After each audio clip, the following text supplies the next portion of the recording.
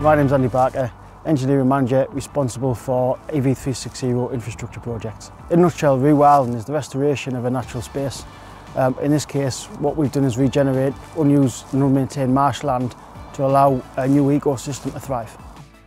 What we wanted to utilise is uninhabited marshland at the south of the site to basically create a holistic green space using green energy but also uh, repurpose that space to regenerate it to create a habitat for local species.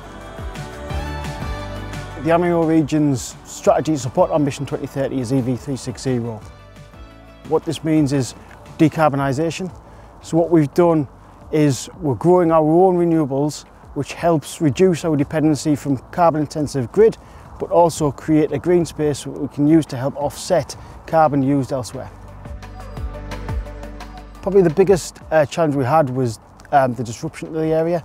So we weren't sure about the rate of recovery.